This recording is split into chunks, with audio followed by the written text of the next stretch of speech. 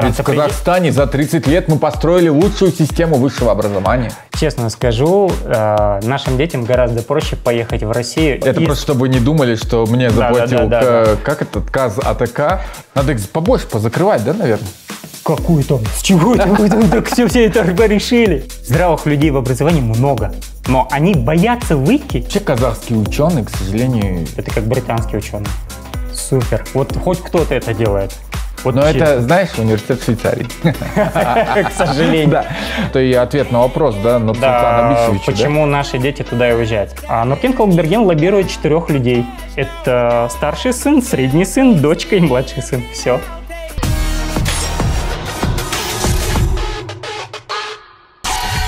Друзья, продолжается наш коронавирусный сезон интервью, и сегодня мы поговорим о главной проблеме этой осени – образовании. В гостях у нас эксперт, э, пиарщик антикризисный, владелец агентства Нуркен Халкберген. Я надеюсь, я правильно всё- представил? всё- всё да? точно. Супер.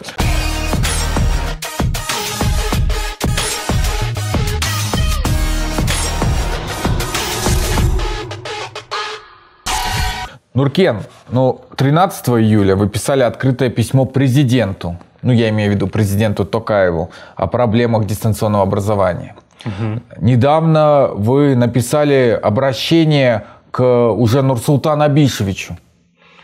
Ну, в ответ на его слова о том, что почему все уезжают, ну, конечно, тут же, это мне напомнило э, речи советских э, пропагандистов, которые говорили, вот почему э, вообще, что этим диссидентам нужно на Западе, они предатели Родины, ведь Советский Союз самая лучшая страна на свете, точно так же, как и Республика Казахстан, которая за 30 лет построила э, и не- Коммунистическое не- общество. Коммунистическое общество, да. Ну, в общем, э, Нуркен, э, вы думаете, э, вас вообще кто-нибудь э, читает там Нурсултан Абишевич, который Ну, честно, я даже не знаю, читает он на Касым самом деле нет. Кемелевич. У меня на самом деле была задача достучаться до казахстанцев. Почему? Потому что я хочу объяснить людям, что вот помните, когда у нас только независимость начиналась, мы все говорили, вот, у нас столько запасов нефти, золота, вся таблица Менделеева, мы сейчас будем жить как в Эмиратах.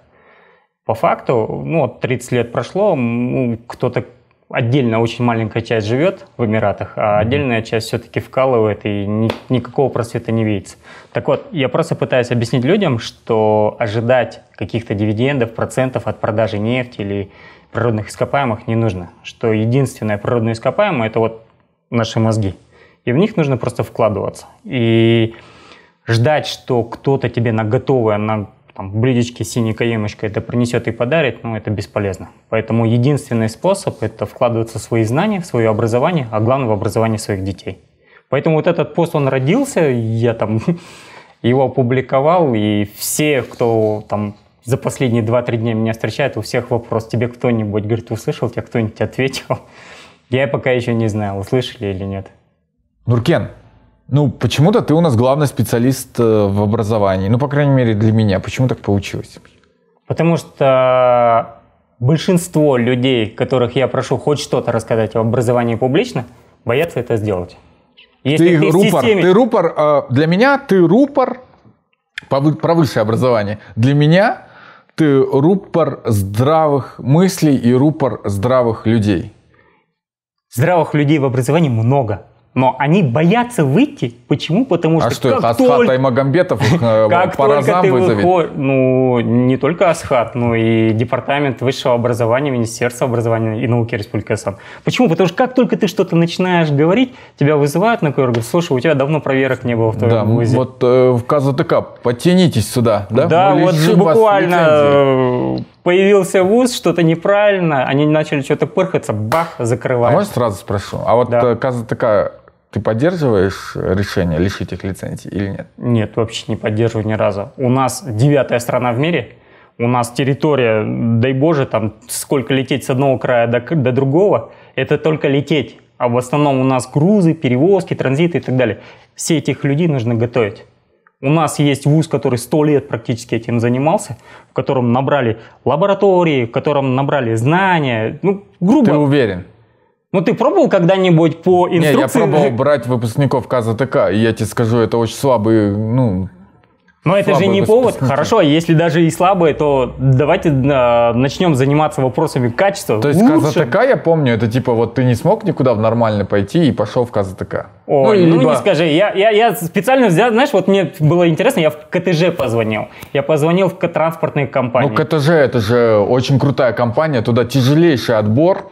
Да фиг И там. туда берут самых лучших. Ну, поэтому, я, поэтому я звонил, я звонил, берут, я звонил поэтому, частные компании, вот, я спрашивал. Э, если бы ты сказал бы, mm-hmm. типа, я позвонил, э, не знаю, в кто там, не знаю, в Emirates, и типа тут они сказали, да, КЗТК, ну, Great Guys, да. Great Guys, нет, ну, к сожалению, нет, Great Guys вряд ли, Нет, но... КЗ... если ты говоришь про КТЖ, то есть ты говоришь, одна неэффективная компания нанимает людей, может, поэтому и КТЖ неэффективно, потому что КЗТК как попала работа. Ну, хорошая, кстати, точка зрения, но, на мой взгляд, если а, большинство... Это из... просто, чтобы вы не думали, что мне заплатил, да, да, да, к... как этот, КАЗ АТК за то, что я сейчас там защищал их лицензию. Нет, я просто чуть потроллил момент. Коммерсанты, а, коммерческие компании, их очень сложно заставить говорить что-то хорошее. Но когда начинаешь спрашивать, они говорят, знаешь, вариации для транспортников, логистов, для людей по транспорту, по людей по ну, логистическим связям, КЗТК, к сожалению, один из лучших сейчас на данный момент. Если брать те же самые перевозки, если брать компании коммерческие, которые осуществляют транспортные перевозки через ЖД, они тоже говорят, к сожалению, КТЖ, о, о, вернее, КЗТК, это вот как раз та структура. А КТЖ, которая... к сожалению. А так КТЖ, вот. к сожалению. А, на самом деле нет никаких претензий ни к КТЖ, ни сотрудникам КЗТК. Я просто пытался в очередной раз сказать, что у меня нету какой-то позиции по КЗТК, и я в целом за то, чтобы у нас были качественные вузы, да? Надо их побольше позакрывать, да, наверное? Какую там? С чего это вы так все, все это решили? Вот у нас странная позиция, да, вот я, я разговариваю с экспертами, мне говорят, у нас слишком много вузов. Не, знаешь, что при, прикол? Мне кажется, типа, а как мы решим проблему высшего образования? Мы закроем кого-нибудь. И тогда не будет никого, да? Да. Нет высшего будет, образования, нет проблем. Будет КАЗГУ, КАЗГЮА, там, не знаю. У нас считают, что государственные вузы это прямо идеал. Давайте тогда просто коммерческий вуз, коммерческого выпускника и государственный вуз, государственного выпускника – вот кто круче из них? Они же одинаковые. Ну, по я факту. не знаю, по факту они получают э, все плохое образование, на мой сугубо взгляд. Ну, я плохое высшее образование в плане, оно сейчас в современном мире, угу. я извиняюсь, опять же, да, то есть оно в современном мире не конкурентоспособно вообще. То есть, если вы куда-то приходите с казахским дипломом, то, ну, типа... Это испанский стыд. Вам приходится заново сдавать экзамены, понимаете? Врач с дипломом казах, казахского университета на Западе может там, не знаю, ну там медсестрой или медбратом устроиться. Ну, ему придется кучу аттестаций проходить и доказывать свои Сразу. снова. Да. да. Его никто Но и потом, не допустит. Потом, медицину. да, нужно получать лицензии и так далее. Это же колоссальная проблема. Ну, это на самом деле как раз-таки то, о чем я и говорю, что качество высшего образования в Казахстане страдает.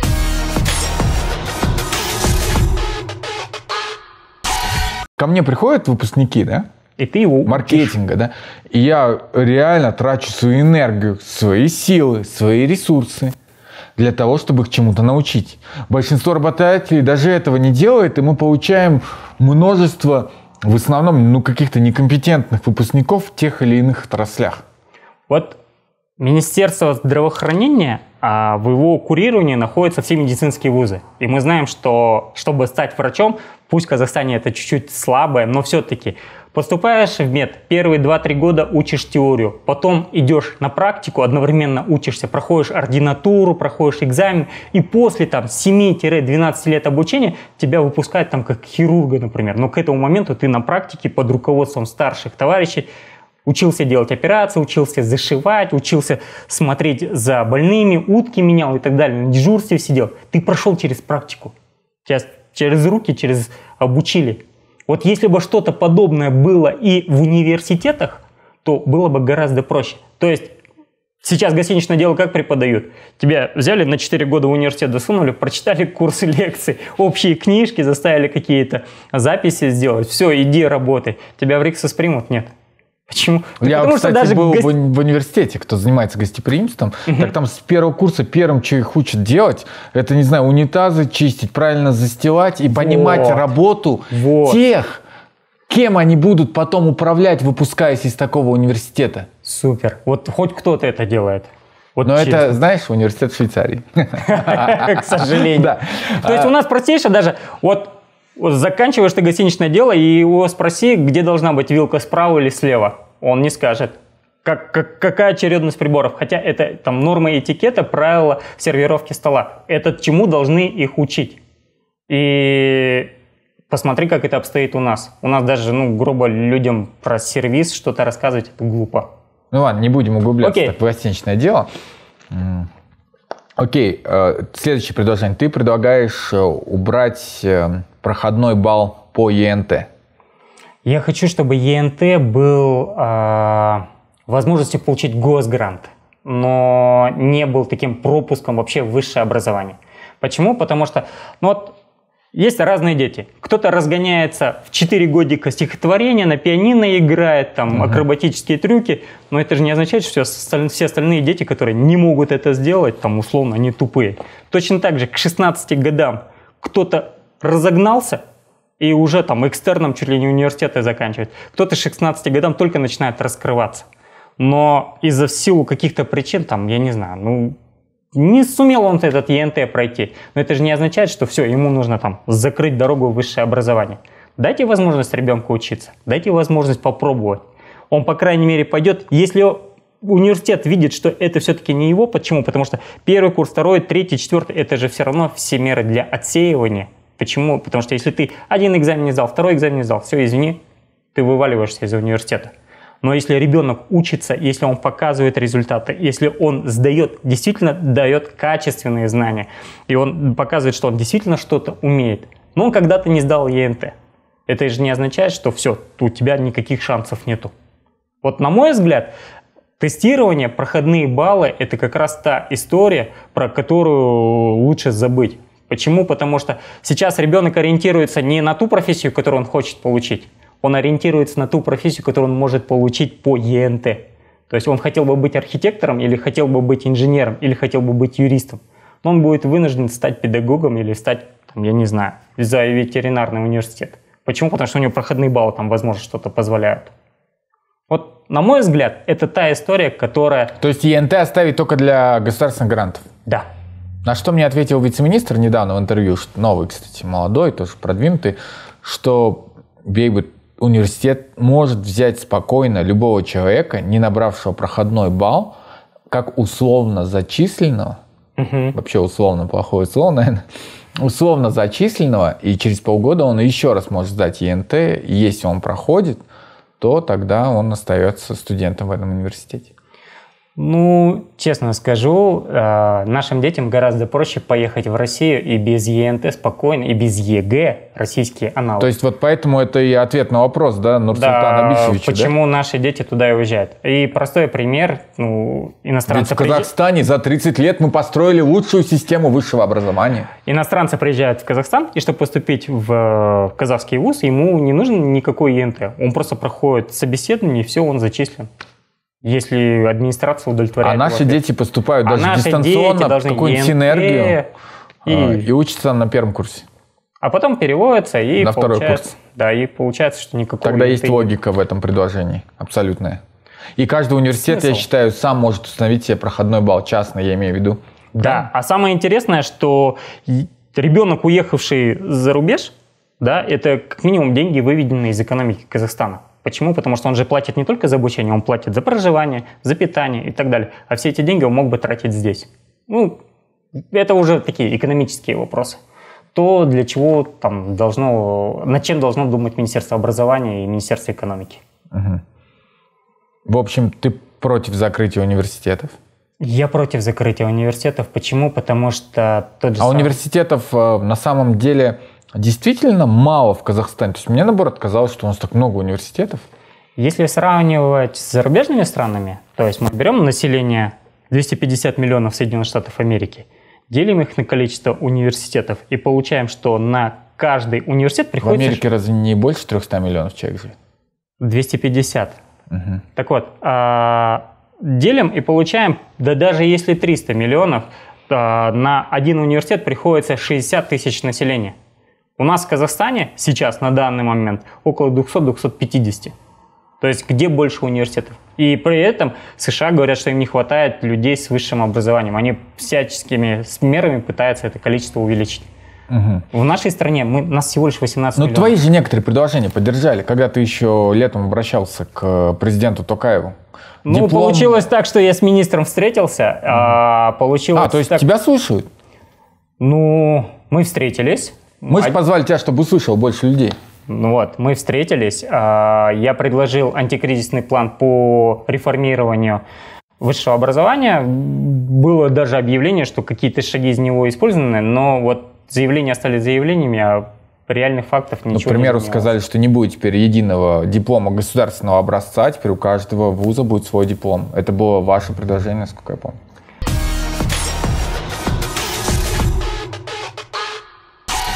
Хорошо, что с дистанционкой? Что, почему нельзя у нас учиться дистанционно? Есть приказ министра образования от 2015 года, согласно которому дистанционное образование могут получать только дети с инвалидностью или люди, находящиеся в местах заключения, зэки. То есть получается, что ребенок, закончив школу... Должен и... сесть в тюрьму и потом получить дистанционку, если хочет не Или стать инвалидом, чтобы не выезжать куда-либо. А ведь а это к чему приводит? Человек, например, из аула он хочет поступить в Алмату, но у него денег нету. А по дистанционке он мог бы просто условно учиться. То есть денег сайт. нету на то, чтобы еще и жить в Алматы, снимать какую-то комнату, да? Да. Питаться. А что он начинает делать, Ездить когда у него денег нет? Ездить к родителям. Тем что он начинает делать, когда денег нет? Что? Ну, проблема преступности, она все равно стоит, как бы то ни было. Или же он остается в ауле без, среднего, а, без высшего образования, и условно у него нету никаких дальше шансов по жизни. Он останется трактористом, и, и то, если будет нужен этот тракторист, или условно будет пьянствовать. Почему? Потому что ну, других вариантов нету. Кому нужен человек без высшего образования? В большинстве случаев мы же ищем таких. Угу. Ну и пробок станет э, в больших городах меньше, ну, к примеру, в Алматы, а то что студентов будет меньше передвигаться. Может быть, может быть. Э, ну, на самом деле это резонно. Почему не... То есть сейчас же можно учиться дистанционно, потому что пандемия, да? Да, потому что в закон об образовании внесли такую легкую поправочку, чтобы узаконить дистанционку в, там, в средних школах и в университетах. Почему? Потому что ну, беззаконно же нельзя это делать. Соответственно, внесли поправку, что в условиях пандемии и чрезвычайных ситуаций дистанционка разрешена. Но чрезвычайная ситуация пандемия же не может длиться вечно. Она же когда-нибудь закончится. Hope so, да, надеемся, да. да, что так и будет. Э, в общем, с дистанционкой тоже проблема, да? В России такой проблемы нет. Нету вообще. Мы же ориентируемся как Ну, по крайней мере, на да, с, а, с сильного соседа в России есть домашнее образование, есть там условно дистанционное образование, онлайн-образование. Эти дипломы приравнены к обычным. То есть ты закончил, никаких вопросов не возникает. У нас это, ну, мягко говоря, не разрешается. Соответственно, родители вынуждены тратить деньги, ездить, там, смотреть, что у них получится, нет. Угу. Вот тут написано, я составлял вопросы, вы требуете академическую свободу для вузов, да? Угу. Как это есть в Америке, в Германии, в Сингапуре и так далее. Но мне кажется, что интересы государственных вузов и интересы частных вузов, они не совпадают. В каком плане? В том, что, как правило, в государственных вузах ректора это какие-то пенсии. Опять извиняюсь, сейчас будет опять про меня что Павел говорит. Как правило, это люди, которые проработали в какой-то государственной системе, им это награда и какая-то пенсия, да, условно. Ну, так и есть. Соответственно, затем там все я Они там сидят на этой пенсии, угу. распределяют тендера там с новыми корпусами, там с ремонтами. Я взял список государственных вузов и просто ради интереса выписал все фамилии ректоров, а потом начал их проверять через Google. Средний возраст, карьеру и так далее. У меня средний возраст ректоров государственных вузов получился 60 лет. То есть по факту это человек, который вот через там, 5-6 лет уже пенсия. Угу. И человек отсиживает какое-то время, и он знает, что у него там буквально 5-6 лет, а не 10, 15, 20. И в чем он, соответственно, будет заинтересован? Улучшать университет, сокращать себе зарплату, чтобы увеличить ее преподавателям? Или же наоборот, там, увеличить себе зарплату, быстро там какие-то гранты получить, съездить на там, командировочный за рубеж? Такое есть. А, образовательный туризм, когда есть конференция в Майами или конференция где-нибудь в, во Франции, и человек за госсчет выезжает за счет университета. На мой взгляд, это не очень хорошо. Наших детей лишают будущего, не давая получать знания из вашего поста. Угу. А дети чиновников, разумеется, летят в Лондон, Францию, США. Разве не правда? Ну, а чиновники наши вообще где лечатся? За, за границей, да? Ну да. Есть как бы три Дети вещи. Дети их учатся. Ну, к сожалению. За границей. Если... Активы они покупают где? Да. За границей? Если вспомнить... Я рад, хоть во время пандемии многие из наших чиновников столкнулись с местной системой здравоохранения. По крайней мере, надеюсь, увидели, что это такое. Да, я надеюсь, это хоть как-то повлияет на то, чтобы что-то менялось на стране. Все же помнят, как, а, по-моему, весной поймали судью на частном самолете, одном mm-hmm. из самых дорогих частных самолетов, который из Астаны летал... Ну, не самый дорогой, объективно бомбардир, да. То есть Возможно. это не Гольфстрим 650, это моя уж тематика. Хорошо, тебе лучше знать. Тем не менее, да, это странно, что, конечно, что люди... судья ездит лечиться все-таки туда, а не здесь. Ну, это прямая оценка там уже здравоохранению, но мы там не... Давай уже туда не будем лезть сейчас. Э, Хорошо. Давай с нашим э, высшим образованием разберемся. Итак, э, в объеме экспорта студентов ты говоришь, что Казахстан больше всего экспортирует студентов в рамках Евразеса. У Евразеса есть статистический комитет, и они просто ориентируются на стат показатели всех стран. И они просто сравнили, сколько детей учатся вне своей родины в странах Евразес. И получилось mm. так, что Казахстан экспортирует студентов больше, чем Россия, Беларусь, Армения и там Ты пишешь, в международном рейтинге английского языка наш стран находится на 93-м месте из 100 стран. Так и есть. Видимо, 100 стран, в которых проводили исследования, да? Да. И хуже нас только Кот-Дивуар, Камбоджа, Ирак Ливия. и Ливия. Это большая проблема? Ну, берем типичного казахского работника, сажаем его где-нибудь в Америке, пусть он пытается найти работу. Ну, дело не в этом, мы не собираемся в Америку на работу. Но Я тогда означает, думаю, что, что и сюда все не современные приезжают. научные труды. В большей не, степени. Неважно в какой сфере, они все выходят на английском. Вот здесь ты абсолютно прав. То есть, если ты хочешь найти самые передовые исследования, даже пусть даже не науки, а просто в экономике. Вот есть такой журнал Harvard Business Review, который mm-hmm. издается с 1922 года. И он издается ежемесячно, и в нем лучшие профессора, которые пишут, рассуждают, изучают, как лучше управлять предприятием, дают советы и свое видение, как работать в сложные времена. Это было и в 30-е, и в 40-е, и 50-е, и в наши годы. Ты хоть одного казахстанского ученого видел, который давал советы малому и среднему бизнесу Казахстана публично, как им выжить в эпоху коронавируса? Или как им выжить в эпоху девальвации, или как им выжить в эпоху неопределенности. Вообще казахские ученые, к сожалению... Это как британские ученые. К сожалению, это уже становится таким нарицательным Казах... именем. К сожалению. Казахский ученый звучит даже иногда смешно. Ну, то есть я извиняюсь, опять я извиняюсь, я перед всеми теперь извиняюсь, потому что особенно э, есть, неважно. Есть ладно. люди, которыми, перед которыми хочется снять шляпу и поклониться. Таких ученых, их, ну, честно говоря, по пальцам пересчитать. Но, например, еще один а, такой пример. У нас очень много докторов и кандидатов наук. Но да, мы откровенно. в международных системах плагиата свои работы не проверяем. Мы проверяем их только в наших. И все работы, они закрыты, к сожалению. То есть, по факту, если бы прогнать все казахстанские работы, мы бы увидели да, я уверен, там нет. А, половину парламента можно выводить, ну, там же все, я видел, э, ну, все по, доктора. По, по, поэтому, поэтому в парламенте Надо никогда было... не будет принят закон о том, чтобы мы могли бы тестироваться и проверяться. Ну, я же помню, типа, хочешь быть доктором, столько-то стоит, хочешь быть там кандидатом, столько-то стоит. Такое было. Бизнес, я надеюсь, сейчас этого нету. Ну, надежда есть надежда. А, После... Давай еще несколько предложений по высшему образованию и на десерт э, чуть-чуть про твой вопрос в Телеграме. Хорошо. А, если коротко решать вопрос, ну, вернее, не коротко, а если вот э, наиболее а, важные вопросы поднимать. Для меня самый важный вопрос, это, наверное, все-таки, а, чтобы министерство не лезло со своими стандартами в вузы, то есть не говорила, сколько должно быть преподавателей, а, сколько должно быть а, докторов, профессоров и так далее и тому подобное. Почему? Потому что вот практика еще раз показывает, человек, который работает в бизнесе, зачастую на практике лучше знает, чем теоретик. Вот если у вузов была возможность этих людей привлекать, и министерство за это не било бы по рукам, то качество образования, качество детей, которые выпускаются, было бы гораздо лучше и выше. Это раз.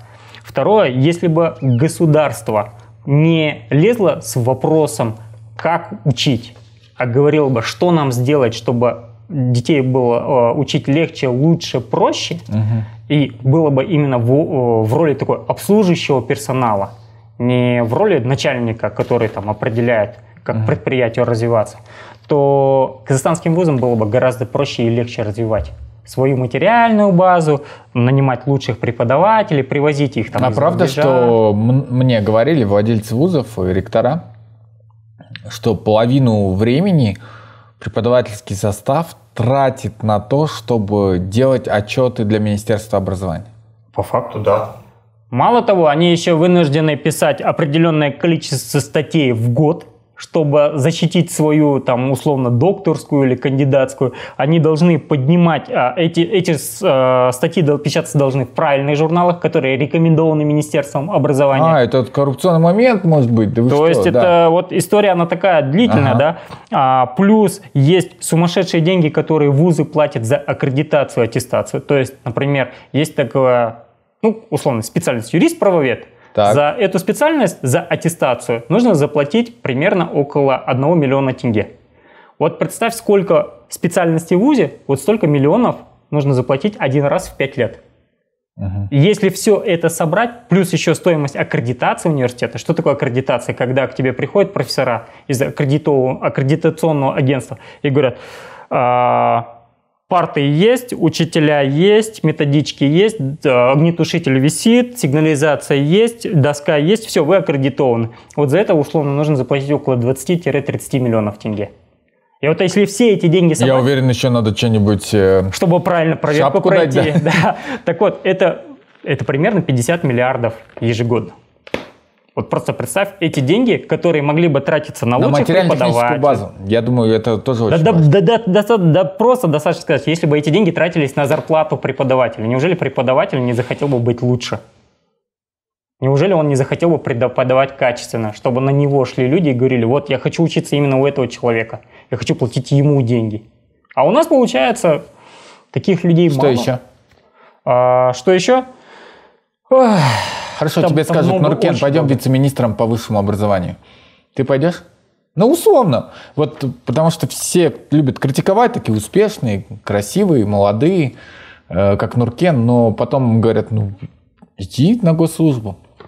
Я бы пошел, но с следующим условием, что если министр образования, к которому я пойду, к вицикам, а, не сменился бы через ближайший год, полтора-два. То есть, условно, есть Асхат Магомедов, пусть он вместе со мной просидит как минимум 5 лет. Почему? Потому что результаты вот этих изменений минимум нужно будет увидеть только через 5 лет. А при этом мы должны быть максимально публично прозрачными, то есть любые совещания и так далее и тому подобное, мы должны писать об результатах. К чему это совещание приводит, с кем мы встречались. То есть наша деятельность должна быть абсолютно прозрачна.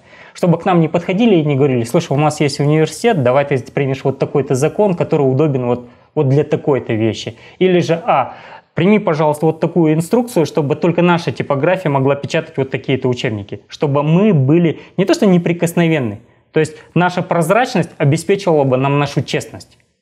И при этом, чтобы вот в любом случае кто-то приходит, да, его же сразу начинает обвинять. Ты действуешь в интересах этого, в интересах того и так далее. Если ты максимально прозрачен, максимально публичен и показываешь, к чему ведет твоя работа, и показываешь, вот мы приняли хороший закон, но его парламент не принимает, чтобы мы имели право показать публично депутатов, которые отказываются его принимать. И ты предлагали им озвучить свою публичную позицию, а не закрытым режимом. А Нуркен Хауберген почему это делает? Кого лоббирует? А Нуркен Халкберген лоббирует четырех людей. Это старший сын, средний сын, дочка и младший сын. Все. На самом деле я действую в интересах только своих детей. Хорошие заказчики у вас, так. Да, мощные. Да. А, ну, на десерт э, у тебя был опрос э, в Телеграме, где 96% родителей ответили, что оплачивают детям репетиторов и дополнительные занятия. Это означает, что среднее образование у нас... Э, Не бесплатное. То есть я просто что сделал? Я провел, Нет, провел так опрос. Же, так же хромает, как и выше? Да, ну как минимум. Получается, мы провели опрос, там было... Но мне кажется, что высшее сильнее хромает, чем среднее, на, на своем опыте. Ну получается ведь высшее это продолжение среднего. Угу. А у нас в Конституции записано, что среднее образование, оно бесплатно. Если родители недовольны качеством среднего и вынуждены доплачивать, значит что-то не так со средним. Если бы этих людей было бы там 20-30%, можно было бы сказать, ну всегда есть недовольные. Но 96 это почти 100. Это означает, что большая часть казахстанцев недовольна тем образованием, которое ему дают в школе. Значит, с этим нужно что-то делать. Это при том, что я еще не озвучил цены.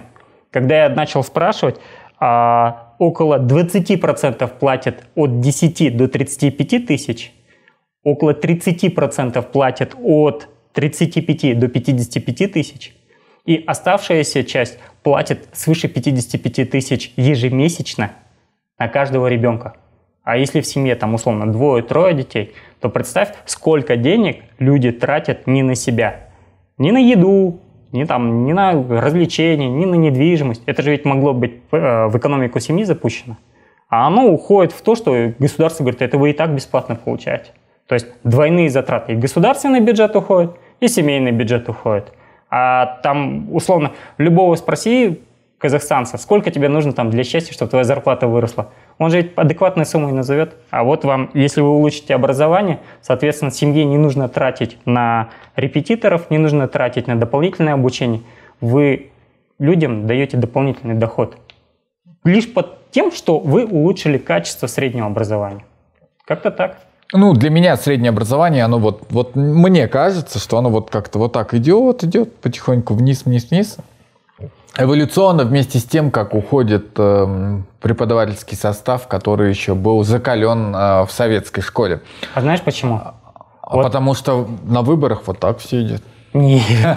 Что учителя в выборах классно помогают. Вот когда закончилась Вторая мировая война, 1945 год, ЦК КПСС, который мы так сильно не любим, там и говорим, коммунисты не самые хорошие люди на свете, они поставили три нормы, а, вернее, три категории людей выделили. Первое, это были, а, ну, понятно, сами номенклатурщики. Второе, это были а, инженеры и тех, а, люди, которые из науки, ученые. И третье, за, за кого они очень сильно топили, это был педагогический состав. Вот с 45 по 51 год – Советский Союз больше всего денег потратил не на восстановление заводов, а на восстановление 22 тысяч школ.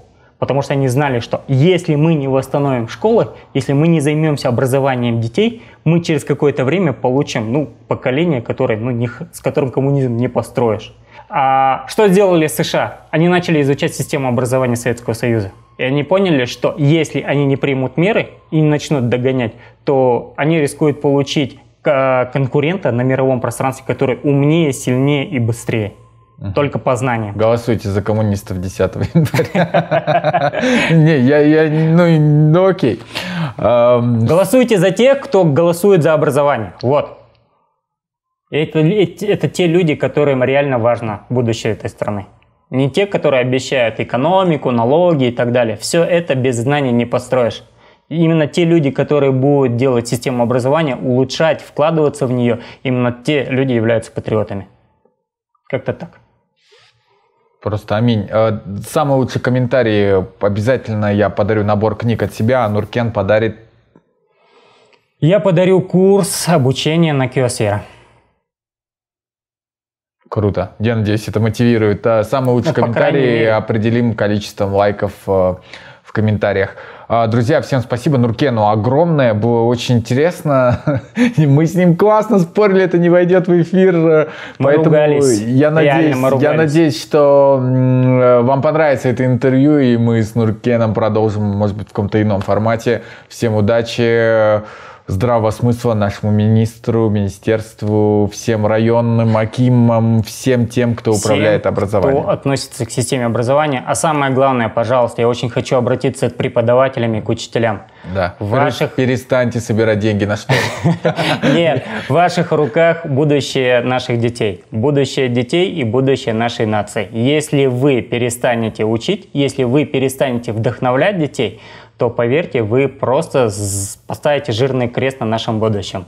Поэтому сил вам и удачи!